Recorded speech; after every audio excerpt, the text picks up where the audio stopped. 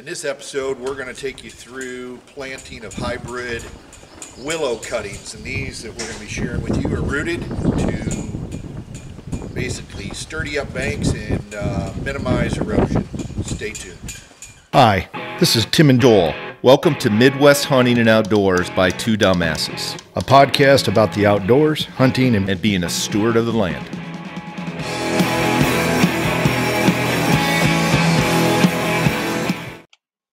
Hey, if you like what these two dumbasses are doing, please hit the like button and subscribe today. Hi, everyone. Welcome to Midwest Hunting and Outdoors by Two Dumbasses. My wife Ruth and I, as mentioned earlier, we're going to be planting some uh, hybrid willow cuttings that we got from the state nursery. Lots of different types of uh, willow cuttings out there. Uh, so do your research on that. But these are hybrid, known for uh, establishing root bases and grow and fast growth with that, uh, probably could be some invasiveness with that. So make sure wherever you're going to put them, it's right where you want to put them because otherwise you're setting yourself up for a lot of maintenance. What we're going to do today is we've got two or three areas that uh, we have some erosion issues and what we're going to try to do is shore up shore up those banks so that uh, we can minimize or prevent erosion in the future. So uh, stay tuned. I hope this helps you. So our first area right here, you see I've got some erosion. I've got some I've got some uh, walnuts that are growing in through here, but this hole continues to degrade and it goes right up to my pond. And so what we're going to do is, is we're going to put a quite a few quite a few uh, these hybrids in here and see if we can shore up this and prevent this from growing.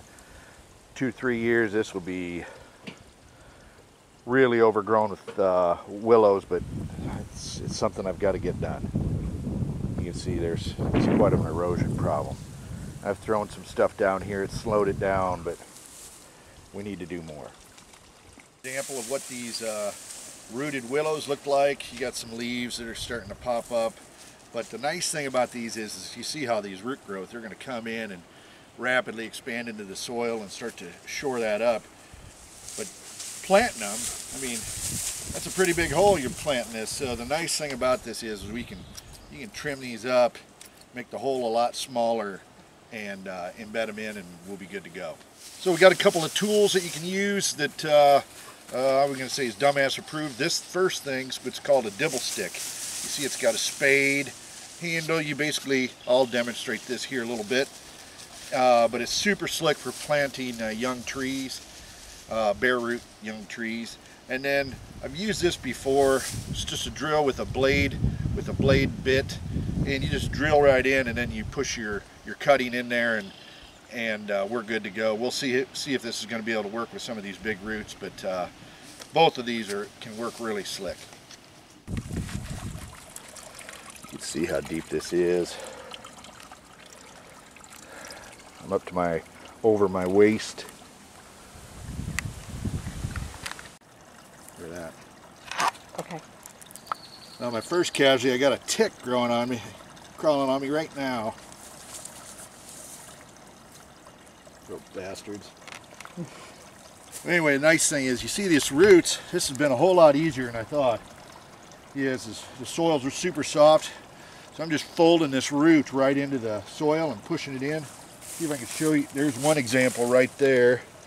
Um, I'll do another one right over here.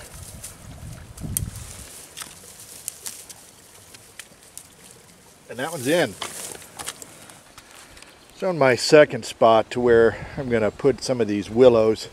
And you'll see, hey, I don't have a lot of erosion here, but this bank, this bank or this uh, watershed right through here, it can get to be about 30 foot wide in a hurry if I get a big downpour. So this is the other part of the other side of the creek crossing. You see quite a bit of drop. I've put 1,200 pounds of concrete, a lot of posts in here. Uh, I'm not sure even that's going to be enough. We'll see. This is my third attempt at this. But you can see on that bank and the force of it washing all that concrete downstream. So we're going to try to put some of these willows in here and shore this up and see see if that has a big effect. That's that's our goal.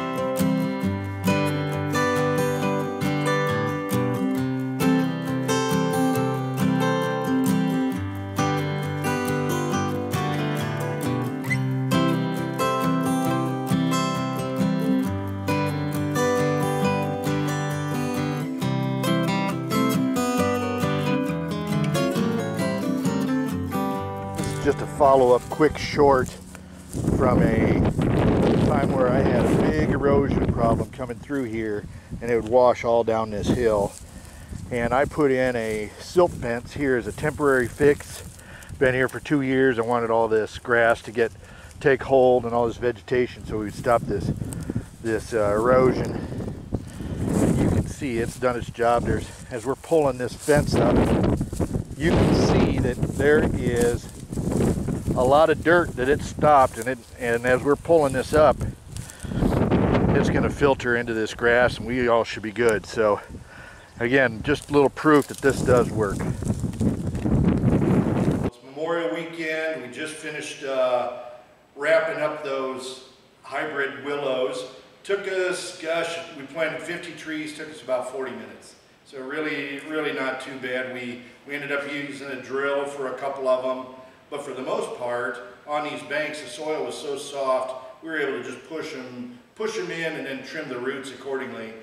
Um, I'll post a little bit later an update on that. I also posted at the end of this video um, an update on a silt fence that I put in two years ago. We had posted a video on how to set up a silt fence in one of our prior episodes. Well, anyway, this is one that had been in place for over two years, and you're going to see uh, how that silt fence has a dramatic impact. So, a couple things we're attacking on uh, erosion. We've got silt fences, and now we're using hybrid hybrid uh, willows. Hope this is helpful for you guys and gals that, uh, that, that see these see these episodes. But until next time, be safe, have fun, and get outdoors. Thanks for listening or watching our show. We have some exciting topics and guests coming up. We ask that you subscribe to our channel on YouTube and follow us on Twitter, Instagram, and Facebook. We look forward to hearing your suggestions for topics, questions, and comments. This is Two Dumbasses signing off until next time. Be, safe, have, have fun, fun, and, and get, get outdoors. outdoors.